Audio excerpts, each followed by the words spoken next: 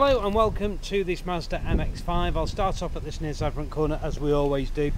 Coming around the wheels, you'll notice all the wheel here is in great order. In fact, no, it's not. got a little bit of Asda, a bit of Asda rash and curb uh, rats have been at it down there. So uh, apologies for that. Coming down here, all looks in good order, bodily wise. Rear wheel um, is in good order, as is the tyre. Nope, in fact that tyre looks almost new. Coming around the back, 12 plates supplied by a, a, a local Mazda agent here, Mitchell's. Looking at the name on the number plate.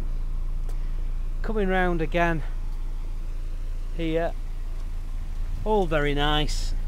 Um, car's only done 21,000 miles. Rear tyres are great, and again, bodily wise, this colour's great, isn't it? Doesn't show any marks or scratches, but uh, again, all very, very nice wheels. So just one wheel refurb, uh, or is it two? No, two. Just caught there on the very side, on the very edge there.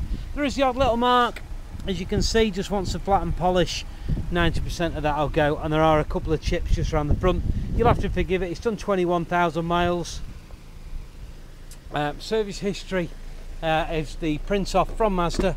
It's all on the seat here, so it's got its complete history.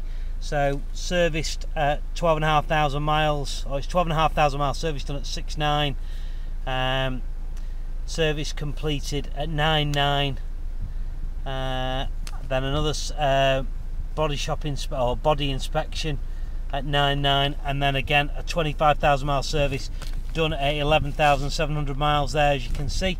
Also, full history by Mazda Um, the relevant books, handbook packs there. I just can't put my hand on an actual service record, uh, sadly. That tells you, in fact, this might be it. I didn't think it was.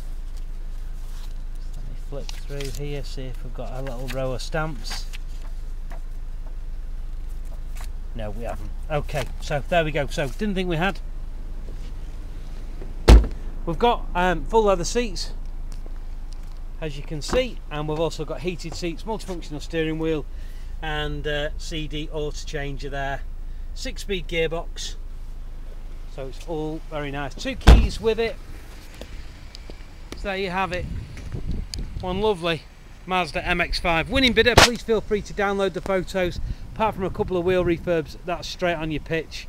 Um, you can never have too many of these. They are lovely, real good following with them, and uh, that should fly away. Thanks for watching. Bye bye.